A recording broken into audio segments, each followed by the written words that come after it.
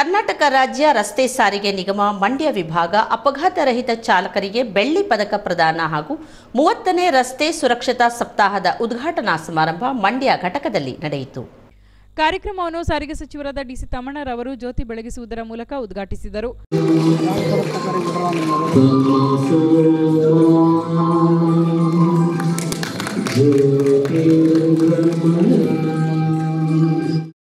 ನಂತರ ಮಾತನಾಡಿದ ಅವರು ಅಪಘಾತ ರಹಿತ ಚಾಲಕರನ್ನ ಪ್ರೋತ್ಸಾಹಿಸಿ ಸಾರ್ವಜನಿಕರನ್ನ ಪ್ರಾಣಾಪಾಯದಿಂದ ರಕ್ಷಣೆ ಮಾಡುವ ಸಲುವಾಗಿ ರಾಜ್ಯ ಸರ್ಕಾರ ಅಪಘಾತ ರಹಿತ ಚಾಲಕರಿಗೆ ಬೆಳ್ಳಿ ಪದಕವನ್ನ ಪ್ರದಾನ ಮಾಡಲಾಗುತ್ತಿದ್ದು, ಜಿಲ್ಲೆಯ ಹಲವು ಚಾಲಕರು ಈ ಪ್ರಶಸ್ತಿಗೆ ಭಾಜನರಾಗಿದ್ದಾರೆ ಎಂದರು.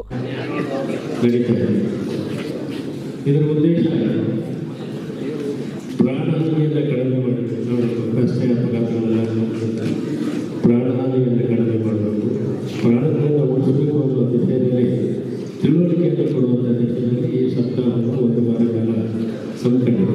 ಇವತ್ತು ಬೆಂಗಳೂರಿನಲ್ಲಿ ಸನ್ಮಾನ್ಯ ಮುಖ್ಯಮಂತ್ರಿಗಳಾದ ಕುಮಾರಸ್ವಾಮಿ ಅವರು ಉದ್ಘಾಟನೆ ಮಾಡಿದ್ದಾರೆ ಆದರೆ ನಾನು ಬೆಂಗಳೂರಲ್ಲಿ ಇರಬೇಕಾಗಿತ್ತು ಇವತ್ತು ನನಗೆ ಕೋರ್ಟ್ನಲ್ಲಿ ಒಂದು ಕೇಸ್ ಇದ್ದಿದ್ದರಿಂದ ನಾನು ಕೋರ್ಟಿಗೆ ನಾನು ಅಟೆಂಡ್ ಆಗಬೇಕಾಗಿತ್ತು ಅದರಿಂದಲೇ ಇವ್ರಿಗೆ ಹೇಳಿದ್ದೆ ಒಂಬತ್ತುವರೆಗೆ ಕಾರ್ಯಕ್ರಮ ಯೋಜಿಸಿ ನಾನು ಕಾರ್ಯಕ್ರಮ ಉದ್ಘಾಟನೆ ಮಾಡಿ ನಾನು ಕೋರ್ಟ್ ಹೋಗ್ತೀನಿ ಅಂತ ಹೇಳಿದೆ ಇಲ್ಲೇ ಪೂರ್ಣ ನಾನು ಇಲ್ಲೇ ಇಟ್ಟೆ ಸಮಾರಂಭ ಮುಗಿಯುವಾಗ ಯಾಕೆಂದರೆ ಇದು ನನ್ನ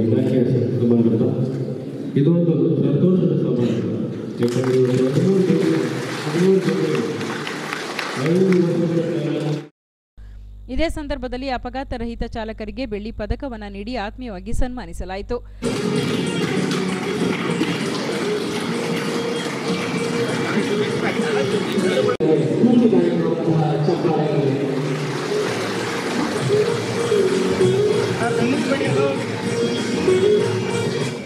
ವೇದಿಕೆಯಲ್ಲಿ ವಿಧಾನ ಪರಿಷತ್ ಸದಸ್ಯರಾದ ಕೆಟಿ ಶ್ರೀಕಂಠೇಗೌಡ, ಶಾಸಕ ಎಂ ಶ್ರೀನಿವಾಸ್, ಜಿಲ್ಲಾ ಪೊಲೀಸ್ ವರಿಷ್ಠಾಧಿಕಾರಿ ಶಿವಪ್ರಕಾಶ್ ದೇವರಾಜು, ವೀರೇಶ್ ಉಪಸ್ಥಿತರಿದ್ದರು. ನಂತರ ಸುದ್ದಿಗಾರರೊಂದಿಗೆ ಮಾತನಾಡಿದ ಅವರು, ಮಂಡ್ಯ ಕ್ಷೇತ್ರವನ್ನ ಕಾಂಗ್ರೆಸ್ಗೆ ಬಿಟ್ಟುಕೊಡುವ ವಿಚಾರವಾಗಿ ಮಾತನಾಡಿದ ಅವರು, ಸೀಟು ಕೇಳೋದು ಅವರ ಧರ್ಮ, ಕೊಡುವುದು ಬಿಡುವುದು ಪಕ್ಷಕ್ಕೆ ಬಿಟ್ಟ ವಿಚಾರ.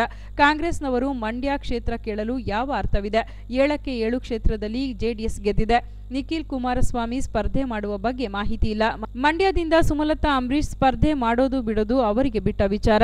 ಶಾಸಕರು ಎಲ್ಲಿ ಅತೃಪ್ತ ಶಾಸಕರಿಗೆ ಜನರೇ ತಕ್ಕ ಪಾಠ ಕಲಿಸಲಿದ್ದಾರೆ ಎಂದರು.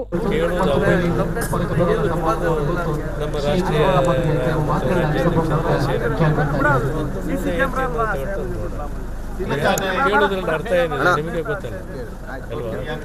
ಹೇಳಕ್ಕೆ ಕೇಳೋ ಶಾಸಕರು ಮಂಡ್ಯ ಜಿಲ್ಲೆಯಲ್ಲಿ ಚುನಾಯಿತರಾಗಿರುವಾಗ ಬೇರೆ ಪಕ್ಷ ಬೆಳ್ಳಿ ಪದಕ ವಿಜೇತರನ್ನ ಗೌರವಿಸಿ ಅದನ್ನ ಕೇಳುವಂತವರು ಕೂಡ ಯೋಚನೆ ಮಾಡಬೇಕು. ಬಹಳ ನಿಖಿಲ್ ಅವ್ರು ಸ್ಪರ್ಧೆ ಮಾಡ್ತಾರೆ ಅದು ಗೊತ್ತಿಲ್ಲ. ಸುದೀರ್ಘವಾಗಿ.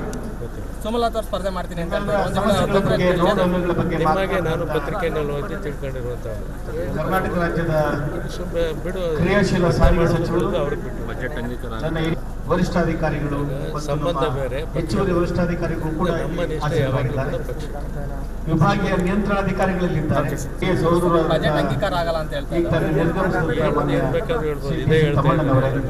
ಎಂಟನೇ ತಾರೀಕು ನೋಡಿ. ಈ ಕಾರ್ಯಕ್ರಮದ ಅಧ್ಯಕ್ಷತೆಯನ್ನು ವಹಿಸಿಕೊಂಡಿರ್ತಕ್ಕಂಥ ಏನು ಆಗೋದಿಲ್ಲ. ಮಂಡ್ಯ ವಿಧಾನಸಭಾ ಕ್ಷೇತ್ರದ ಶಾಸಕರು ಇನ್ನೂ ಕೈ ಸಿಗ್ತಾ ಇಲ್ಲ ಅಂತ. ಜನಪ್ರಿಯ ಶಾಸಕರು ಬರ್ತಾರೆ ಆರನೇ ತಾರೀಕು ಎಲ್ಲ ನನ್ನ ಹಿರಿಯ ಆತ್ಮೀಯ ಸನ್ಮಿತ್ರರು ಮೊನ್ನೆ ತಾನೇ ಏನ್ ಇಲ್ಲೇ ಅಂತ ಏನಿದೆ ಆಚರಣೆ ಮಾಡಿಸಿಕೊಂಡಂತ ನಮ್ಮೆಲ್ಲರಿಂದ ಎಲ್ಲಿದ್ರು ಓಟ್ ಕೊಡುವಂತ ಜನ ಇದ್ದಾರೆ. ಬರ್ತಾರೆ ಇದಕ್ಕೆ ಮಂಡ್ಯ ಜಿಲ್ಲೆಯ